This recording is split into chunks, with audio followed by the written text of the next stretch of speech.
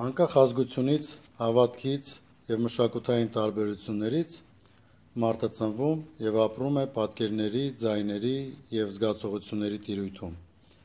որոնցով էլ ձևավորվում է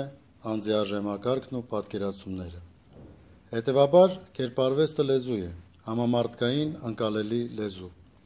Եվ որքան էլ որ մենք տարբեր ենք ու բազմերանք, իրականում մենք նույն նյութից ստեղծված գույներն ենք, որոնք լրացնում են մեկը մյուսին աշխարհի ներկապնակի վրա։ Բալբեկի այս սիմպոզիումը հրաշալի նախաձեռնություն է տարբեր երկրների արվեստագետների համար